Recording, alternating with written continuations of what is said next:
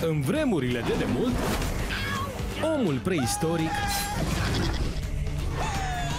era nevoit să se adapteze condițiilor preistorice.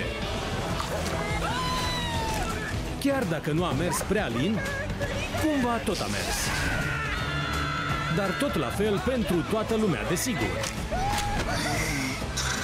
Familia Crud. Copacul familiei.